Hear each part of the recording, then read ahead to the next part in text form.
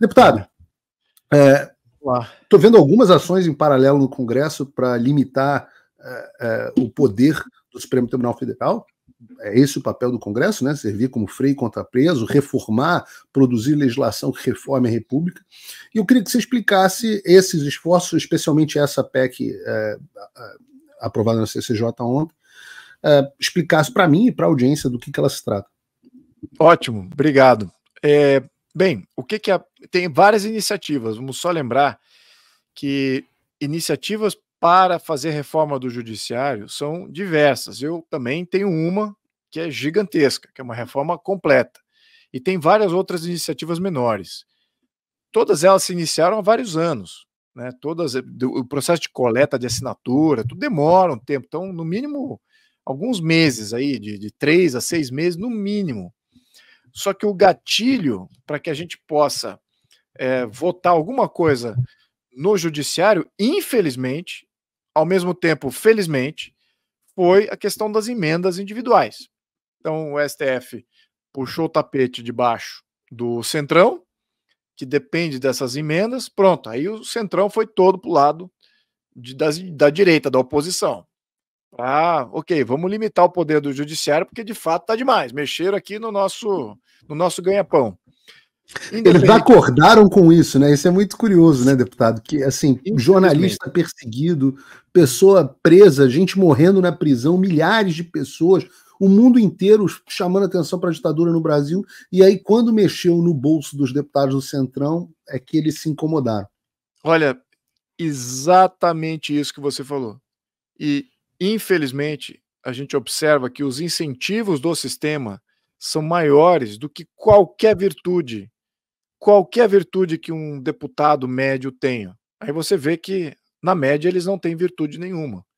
E é exatamente isso que aconteceu. Mas, mas agora, muito bem. Então, por razões ruins, eles estão gerando ações boas. Muito bem, vamos aproveitar então o momento de ações boas. É, várias dessas propostas foram pautadas. A Carolina Detone, presidente da CCJ, está no final do seu mandato, não queria passar em branco, e resolveu pautar isso, corajosa, foi bem, é, eu diria que uh, focada em pautar itens que são de suma importância uh, para a sociedade brasileira e para o Estado brasileiro. A primeira coisa com relação à sociedade brasileira foi a questão da anistia. Então ela pautou isso com, com veemência e insistência. E a mesma coisa com reformas do judiciário que está, estavam ali já uh, na boca do gol. Opa, desculpe interromper o seu vídeo, mas desde 2022 eu continuo com as contas bloqueadas e o passaporte cancelado pelo Xandão. Se você aprecia o meu trabalho e tudo que eu faço pela liberdade de expressão, tem um lugar onde você pode se tornar meu apoiador com uma pequena quantia por mês. Acesse www.paulofigueiredoshow.com e torne-se meu apoiador e aí você vai receber conteúdos exclusivos e desconto nos meus cursos. Ou então você pode se tornar meu patrono Gold e passar a me pautar, tem reuniões comigo, você entra para o meu grupo de WhatsApp que eu uso sempre. O link para tudo isso está aí na descrição. Então eu fui relator da PEC 28, que é uma dessas reformas. O que, que essa PEC faz? É uma emenda constitucional, então a prerrogativa é 100% do legislativo, tem que ser aprovada duas vezes na Câmara, duas vezes no Senado e acabou. E muda-se a Constituição. E o que, que essa PEC diz? Ela tem duas partes. A primeira parte, ela acaba com as decisões monocráticas, então ela faz a mesma coisa que a PEC 8, que foi votada antes e que foi aprovada. Então, uma, uma parte da PEC 28 ela replica, eh, talvez não em tanto detalhe quanto a PEC 8, mas ela replica o mesmo efeito da PEC 8. Então, isso é muito bom, porque reitera o interesse de acabar com as decisões monocráticas, toda vez que houver uma cautelar que possa alterar a vida de alguém, para evitar fisiologismo, uh, partidarismo, uh, revanche pessoal, uma série de coisas. Então, joga-se tudo para um, um colegiado toda vez que tem uma, uma, uma, cautelar que vai alterar a vida do cidadão de uma maneira é, irreparável. Então, é, isso é importante. Então, isso faz parte da PEC 8, da PEC 28. A outra parte da PEC 28, que eu acho que é a, a, a parte importante que, que define ela, é que cria, dá ao Congresso, lembrando, o Judiciário continua agindo da maneira que o Judiciário quer agir, mas ela dá ao Congresso a chance de avocar para si quando o Congresso acha que o Poder Judiciário está exorbitando das suas competências. Qual é a função do Poder Judiciário? O STF foi constituído para ser uma corte constitucional. Então ele deveria estar julgando temas constitucionais. Quando o STF começa a fazer ativismo judicial, começa a criar lei, passar a parecer com relação à criminalização de droga, a aborto, a questão de tratamento de criminoso e tudo mais, que não é pauta do judiciário, do, do, do escopo é, da, da, agenda do judiciário, de fato, o judiciário nem deveria ter agenda, né? Quem tem agenda legislativa é o legislativo, não o judiciário. Então, quando o Congresso achar que o judiciário está indo além das suas, suas competências, ele tem o direito de suspender a medida durante dois anos. E para suspender a medida é difícil, é dois terços na Câmara, dois terços no Senado, está suspensa a medida do STF. Muito bem. O STF ainda pode atingir um quórum de quatro quintos, ou seja, uma maioria absolutíssima, para romper com a suspensão. Se não, fica suspenso durante dois anos e pode ser uh, renovada essa suspensão por mais dois anos. Então, é importante esse. A palavra final continua do STF, pode interromper a suspensão a qualquer momento quando tiver quatro quintos, e certamente a suspensão é por um período limitado, ou seja, não há uma interferência no outro poder, é um freio. É um freio porque você está dando ao Congresso uma chance de avaliar o que, que o STF fez. Então, eu acho muito importante pautar isso, porque todo o raciocínio do STF é dizendo, ah, isso aí está interferindo no, no, no, na separação de poderes. Não está. Não está. Está criando um, um freio natural quando o Congresso acha que a sua competência foi interferida. E é, é, é válido você ter um período de avaliação, um período de suspensão para avaliação se está tendo interferência ou não. Então, isso é que eu acho que é importante a gente é, deixar claro. Então, é, para que, que serve isso? O freio, você limita o ativismo judicial, que é o que a gente sabe que está acontecendo. Essa é a praxe, como a gente viu. É, o ministro simplesmente acabou com as emendas individuais, né? do nada.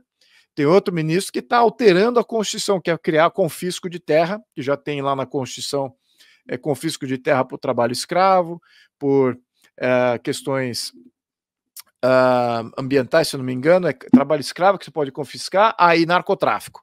Trabalho escravo e narcotráfico, que já são polêmicas o bastante. Agora eles querem alterar a Constituição por eles, sem passar pelo Congresso Nacional, de começar a colocar essa questão ambiental, que tem queimadas e queimadas podem confiscar até. Então Imagina. você veja a loucura, a loucura que está o, o STF sem freio. E a mídia, como ela é, coloca isso de uma maneira completamente errada. Vi pessoal da Globo, para variar a Globo, né? Está aí no, do lado do, da parceria da ditadura.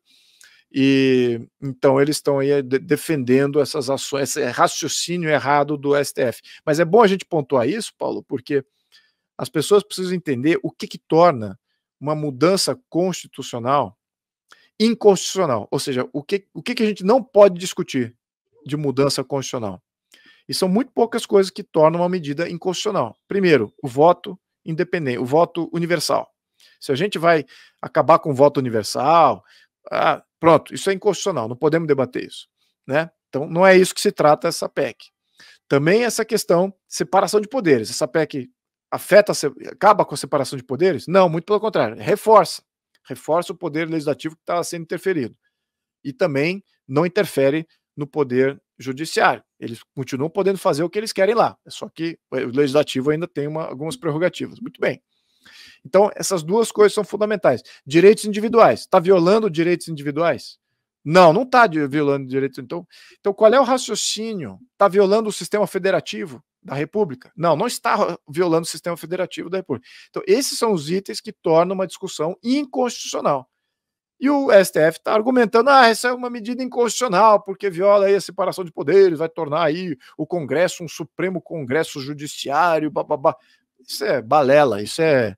A é... mídia está chamando de, de pacote anti-STF. Você acha que é uma descrição boa desse aspecto? Olha, considerando que o STF, vamos, vamos deixar claro aqui, o STF ele tem exorbitado, sim, das suas funções, ele tem agido de uma maneira draconiana contra a Constituição, tem agido na ilegalidade, tem agido monocraticamente, têm agido fora da lei, ou seja, não há lei, eles têm agido fora da lei. Têm agido fora do devido processo legal. Então, como é que a gente ainda vai falar que o STF está bonzinho nessa história toda? É claro que temos que ter um pacote contra o STF. É claro que a gente tem que ter. É óbvio. Então não vamos, não vamos ser desonestos aqui no, no, no, que, é, no que foi o, o dia de ontem. Foi importante para a população e para o Estado de Direito brasileiro ter um freio no STF. O STF vai reconhecer que eles estavam errados, que estavam exorbitantes? Claro que não vão reconhecer. Eles não reconhecem nada de erro pessoal, individual ou coletivo da corte. Nunca reconhecem nada. E é esse um grande problema.